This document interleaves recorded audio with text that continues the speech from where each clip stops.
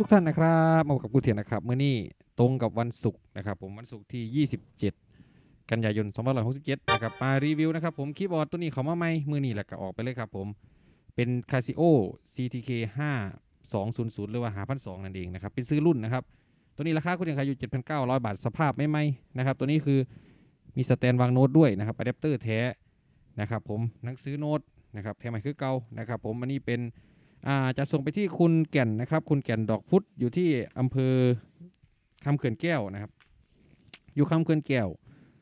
จังหวัดยะโสธรนะครับ เพิ่นสั่งเข้ามานะครับ ผม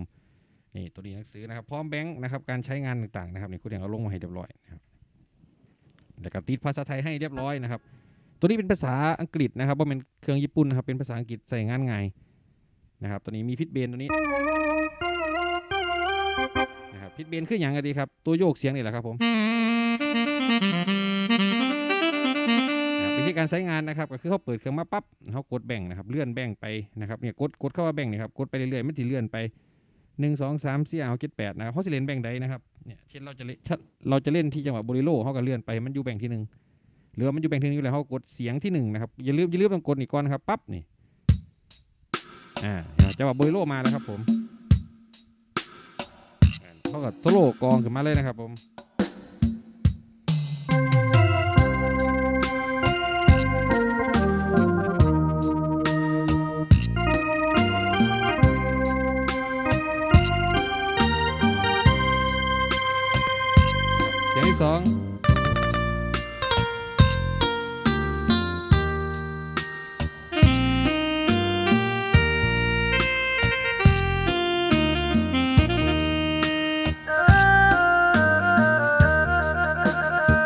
ตัวโซโลจะมีสองตัวนะครับ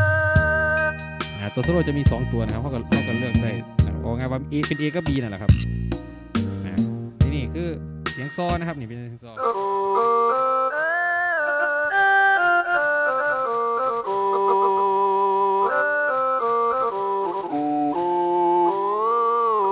นี่นะครับถ้ามี pitch bend ก็คือเล่น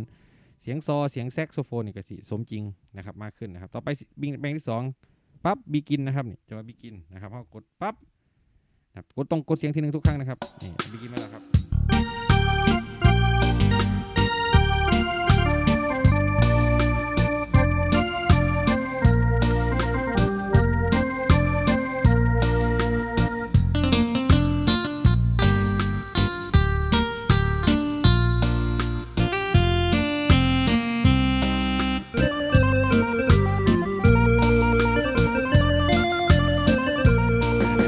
YC นะครับผม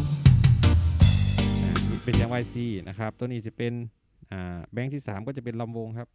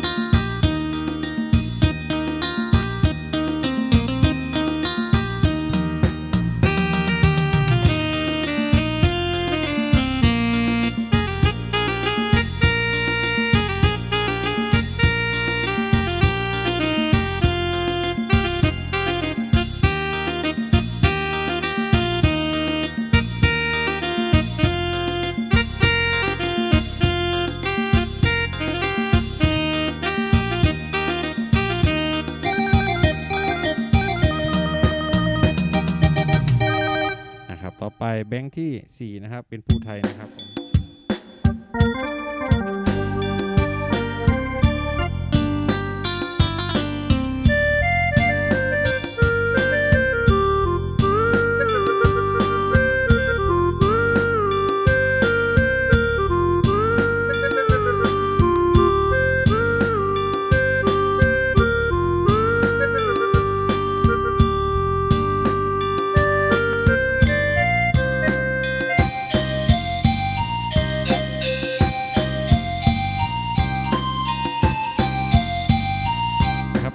ทิตย์บ่ได้ตรงนะครับ เพราะว่าตัวนี้คือ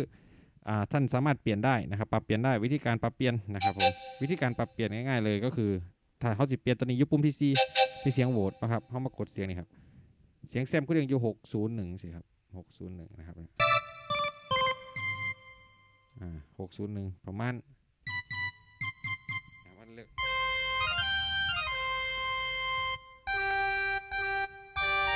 อะนี่เป็นเสียงแคนนั่นนะครับผม เขาก็สามารถเลือกลงได้นะครับผมเสียงปีเสียงแคนนะครับวิธีการเขาสิบันทึกเขาก็ต้องมากด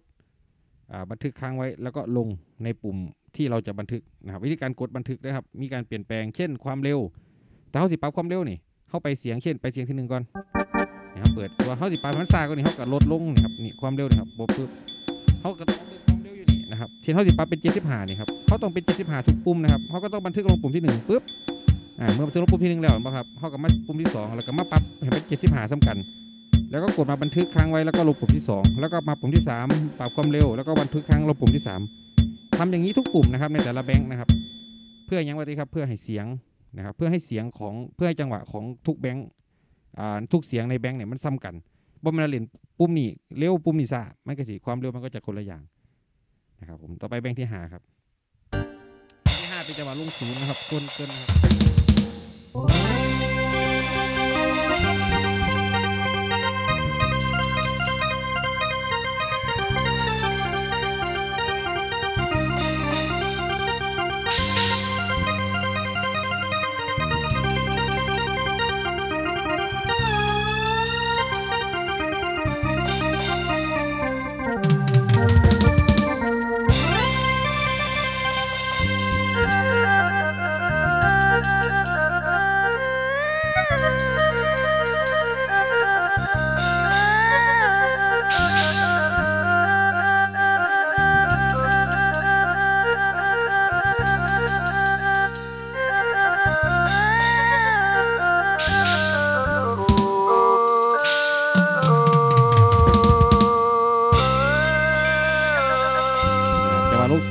ศูนย์นะครับอยู่แบงค์ที่หานะครับต่อไปแบงค์ที่หกครับหมอลำนะครับ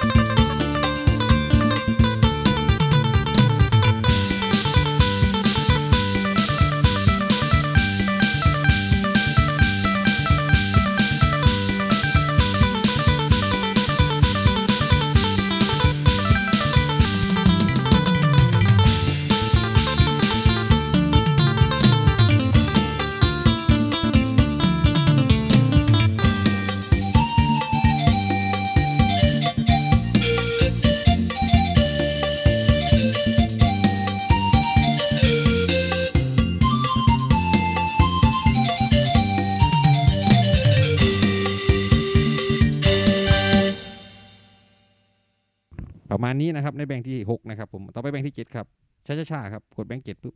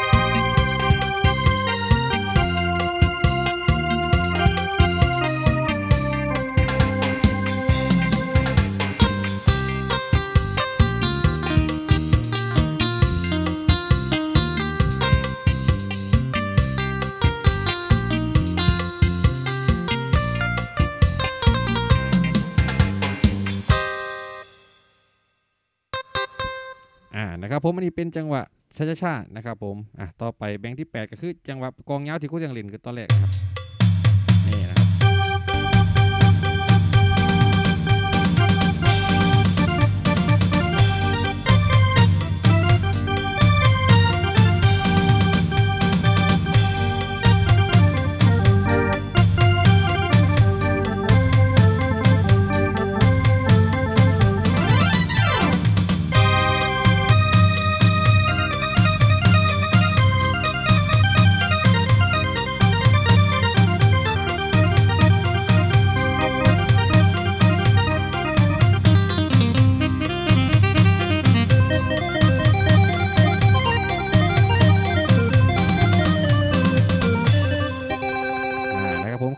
นะครับ ประมาณนี้นะครับ วิธีการเล่นนะครับ ตัวนี้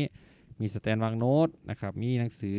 โน้ตให้นะครับผมอ่าอันนี้คือจะส่งไปที่อำเภอคำเขื่อนแก้ว จังหวัดยโสธรนะครับ ผมเอารุ่นคีย์บอร์ดคาซิโอกะถ้ามีเขามานะครับท่านใดก็ติดตามนะครับ กดติดตามไว้เลยนะครับว่าจะเป็นทาง YouTube ทางอ่าทั้งเพจนะครับเผื่อว่าเออท่านกำลังหาอยู่ครูเที่ยงโพสต์ปุ๊บนะครับท่านก็จะอ่าเห็นพอดีนะครับผม รุ่นนี้ไม่ต้องสำรองทานนะครับเพราะจะมีเมมโมรีของเขานะครับผมไม่ต้องสำรองทานนะครับผมอะโอเคครับผมขอบคุณมากนะครับถ้าสนใจติดต่อนะครับ0เป็น1 5 7 4 7 0 1 5นะครับโทรเข้ามาสอบถามได้0เป็น1 5 7 4 7 0 1 5ครับผมขอบคุณครับ สวัสดีครับ